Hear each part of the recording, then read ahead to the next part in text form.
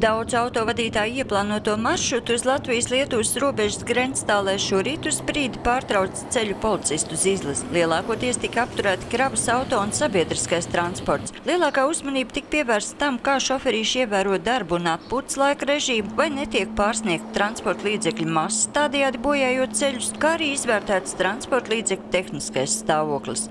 Šīs rīts ir iesācies ar diezgan plašu uh, automobīļu plūsmu, tā skaitā arī uh, ir iespēja kontrolēt autopārvadājumus, un tas notiek, kā jau minēju, gan uh, Latvijas uh, daļā, gan arī Lietuvas daļā.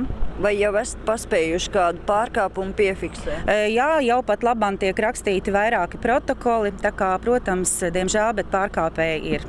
Arī kolēģiem no Lietuvas, kur pārbaudīja autovadītājs, kuri vēlējās iebraukt Latvijā, pirmie pārkāpumi saistīti ar darbu un atpūtas režīmu neievērošanu. Lietuvas transporta inspekcija jau apturējis dažus vadītājus, kuri nav ievērojuši darbu un atpūtas režīmu. Tiek sastādīti administratīvie protokoli.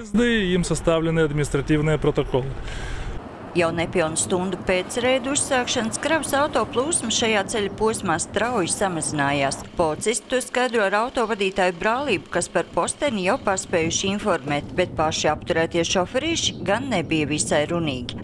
Viss ir labi, viss ir labi. Es negribu runāties. Vai jūs vispār ievērojat šos noteikumus? Protams, ievērojam. Mēs pārsvarā strādājam uz Beļģiju un Holandi, un ja Vācijā noķer par neievērošanu, tur ir tādi sodi. Попадешь, то штрафы большие.